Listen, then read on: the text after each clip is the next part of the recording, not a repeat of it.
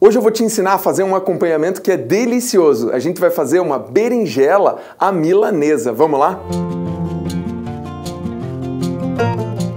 Olá, tudo bem? Eu sou o chefe Guilherme Guzella e hoje eu quero te ensinar a fazer uma berinjela à milanesa. É uma berinjela simples de se fazer, mas ela fica muito gostosa. E o mais legal dela é que tem um detalhe que vai fazer com que esse empanamento à milanesa fique ainda mais gostoso. E eu vou te ensinar, lógico, do meio para o final do vídeo, mas fica ligado. Primeira coisa importante, tem gente que fala, ah, a berinjela é amarga, a berinjela tem um gosto mais forte. Uh, eu não acho, particularmente eu não acho, eu adoro berinjela. Mas se você quiser, você pode fazer, eu já vou te ensinar um macete para você tirar um pouquinho desse amargor dela, que é deixando ela um pouquinho no sal. Mas a primeira coisa que a gente precisa, primeiro, é de uma berinjela bem sadia. E segundo, a gente vai cortar ela aqui, ó, com mais ou menos meio dedo. Deixa eu te mostrar bem essa espessura, que essa parte é bem importante. Olha lá, ó. Então ela não é tão fina, porque senão ela vai se desmanchar inteira ou ela vai secar demais. Aí eu vou cortar ela inteira, eu vou trabalhar com duas berinjelas. Veja que a berinjela que eu estou trabalhando é mais ou menos do tamanho da minha mão, tá vendo? Tem berinjelas que são bem maiores e tem umas que são menorzinhas. Só tome cuidado na hora que você for cortar para ver se não tem nenhum bichinho, né? Porque às vezes a berinjela tem um bichinho e a gente acaba é, comprando sem saber. Então tome esse cuidado. Com as berinjelas cortadas a gente já continua. Todas as berinjelas cortadas, esse fundinho aqui eu descarto, não precisa porque ele tem muita casca, ele vai ficar difícil de mastigar, parece uma borrachinha. E daí a gente vai fazer o seguinte, ó. Eu tenho aqui então mais uma berinjela cortada. Nós vamos fazer assim. Eu vou salgar ele todo aqui e daí depois a gente vai colocar ali para ele escorrer. Eu gosto de usar o meu sal temperado. Ó, toma cuidado, ó. Deixa eu ver. Aqui tem um bichinho. Deixa eu te mostrar. Olha lá, ó aqui tem um bichinho. Você pode fazer duas coisas. Você pode descartar só essa parte do bichinho, ó, ele não tem mais nada ali em volta. E aqui também, ó, tem mais um bichinho. Você tira esses pedaços, você pode utilizar ela sem problema nenhum. Pronto, não precisamos jogar tanta berinjela fora. Às vezes acontece. Nas melhores famílias, você vai salgar como se você estivesse salgando ela para comer normalmente, tá? Então a gente vai colocar o sal mais ou menos na mesma medida. Eu estou colocando meu sal temperado porque vai ficar ainda mais gostoso para a gente poder comer. Mas se você não tiver em casa assim como eu faço, você pode fazer com sal normal, tá? Todas elas com um pouquinho de sal, ó. A gente vai mexendo para ele espalhar bem. Tem uma outra técnica que é você deixar ela de molho na água com sal, também funciona. Agora eu vou colocar elas aqui, ó, no escorredor e vou deixar essas berinjelas aqui por em torno de meia hora a 40 minutos. Esse vai ser o tempo suficiente para elas pegarem sabor. Ó, faltou um pouquinho de sal aqui nessas. E para que elas fiquem um pouquinho menos amargas. Depois disso, eu vou passar uma aguinha nelas, mas antes eu vou te mostrar o quanto vai sorar de água aqui embaixo. Alguns momentos depois. E pronto, olha ali, ó. Deu até uns 45 minutos por aqui. As berinjelas já deram uma boa sorada de água. Olha o que sobrou aqui, tá vendo? É essa água que tem aqui, ó, que ela traz o amargor. O que, que a gente precisa fazer agora? Agora a gente vai secar essas berinjelas e depois a gente vai fazer uma casquinha crocante. Confere comigo. Em uma tábua com papel toalha, coloque todas as berinjelas e dê uma apertada com um pouquinho mais de papel toalha por cima para ela secar bem. Agora retire e na mesma tábua, se você quiser, a gente já pode polvilhar o amido de milho, a maisena. Para facilitar, você pode utilizar uma peneira. Você pode fazer com a mão direto, mas com a peneira fica mais fácil. E depois que você polvilha de um lado, vira e polvilha do outro também. E reserva que daí agora a gente vai começar a empanar. Então vamos lá, primeira coisa, a gente não vai fazer um empanado só de farinha, ou só de farinha de rosca, ou só de farinha panko. Aqui eu tenho farinha panko, e eu coloco mais ou menos dois terços de farinha panko para um terço da quantidade de é, queijo parmesão. Esse é aquele de pacotinho mesmo, sabe? Então, ó, misturo bem, já coloco por aqui um tequinho bem de leve ó, de sal, porque o queijo parmesão já é salgado, e um pouquinho de páprica. Eu estou usando a páprica doce, mas se você quiser usar a páprica defumada ou a páprica picante, também dá para usar.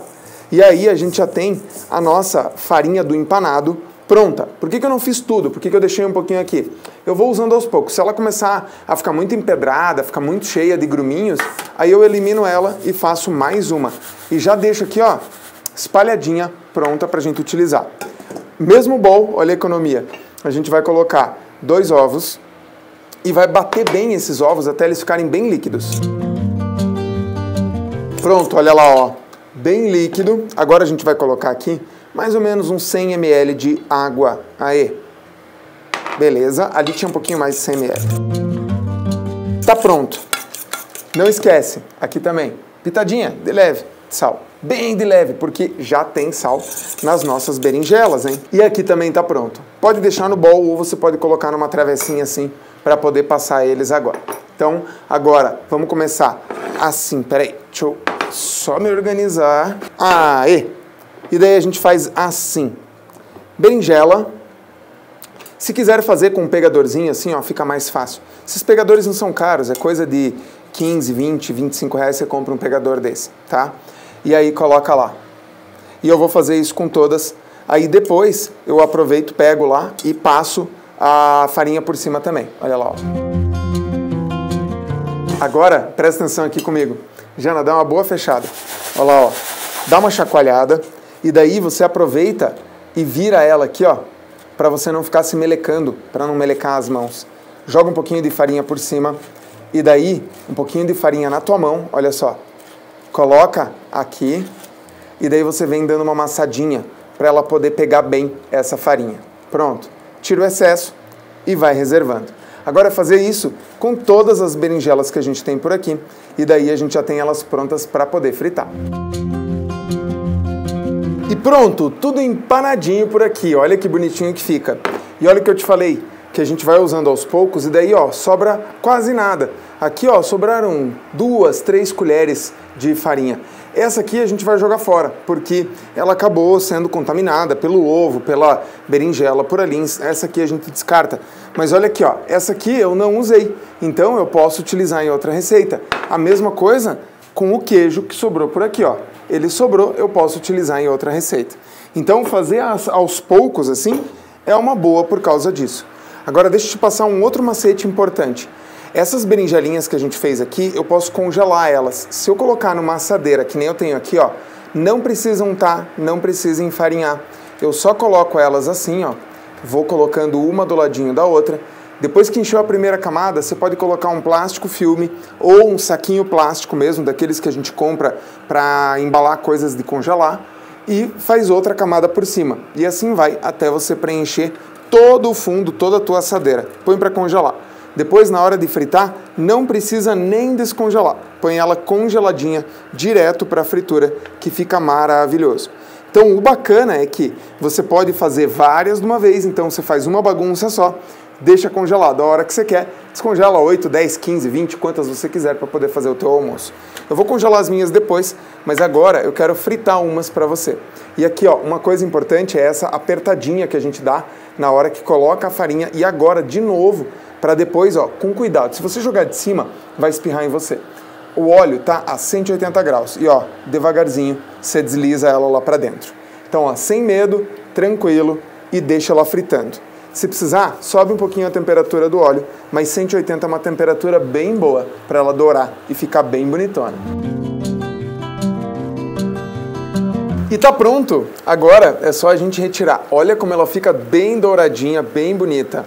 E aí, na hora de escorrer, aqui tem uma dica também, ó. Deixa em pezinho assim, ó. Não deixa ela deitada. Porque, ó, deixa eu ver se aqui de frente dá pra ver também. Acho que dá a gente deixa em pé porque ela escorre melhor, ela tem menos superfície de contato com o papel. Isso faz com que ela seque melhor e ela não fique é, úmida. Então, deixa ela em pezinho, que é melhor para as tuas berinjelas. Deixa eu tirar todas daqui. Vou fazer a próxima leva aqui, eu já volto para experimentar junto com você. Pronto, tá aqui a nossa berinjela deliciosa e com todos esses toques que eu te ensinei. Deixa eu te ensinar uma última coisa, vai? Vamos fazer um molinho? Que tal? Para a gente poder comer junto com essa berinjela deliciosa. Bem simples, bem prático. Shoyu, aqui eu tenho mais ou menos 50 ml de shoyu. Vou colocar suco de meio limão ou mais ou menos metade da quantidade do shoyu que tem ali, em torno de 20 a 25 ml. Vou colocar um pouquinho de cebolinha, cebolinha verde mesmo um pouco de cebolinha eu vou deixar para colocar em cima e umas cinco gotinhas de é, óleo de gergelim torrado. Pronto, acabou. É só isso. Tá pronto o nosso molinho aqui do ladinho. E, como você viu, as berinjelas ficam lindas. Olha aqui, olha lá, olha lá, olha lá, olha lá. E dá uma olhada na câmera também aí, ó, que delícia. Abrir ela no meio, tudo certinho. Hum, ó, deixa eu até abrir uma aqui. E assim, a berinjela ela tem uma picância. É, quando a gente fala que ela é amarga, ela não é amarga, ela tem uma picância. E isso aqui, ó. Hum, vai bem que você não tem ideia. Mas só ela assim hum, já é deliciosa. Ó. Hum. Olha a crocância dela, ó. Tá vendo? Hum. Isso aqui é uma delícia. Toma cuidado com o sal, para não ficar salgado demais. O meu ficou perfeito. Na dúvida, dá uma lavadinha antes, mas ó. Para mim isso aqui substitui carne. Hum. É muito bom, muito bom. E você?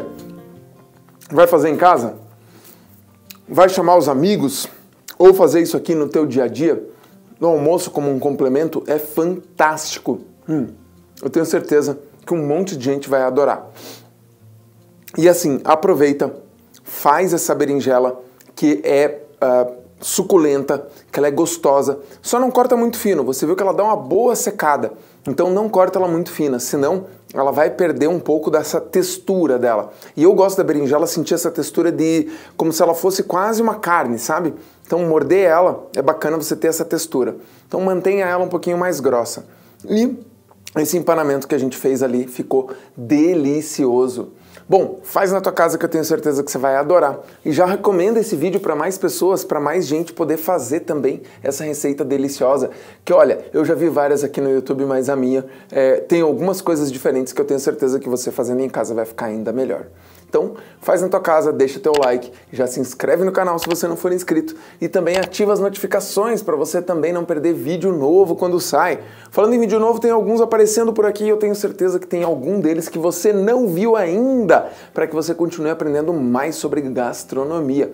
Eu te espero no nosso próximo vídeo. Bom apetite e vai cozinhar!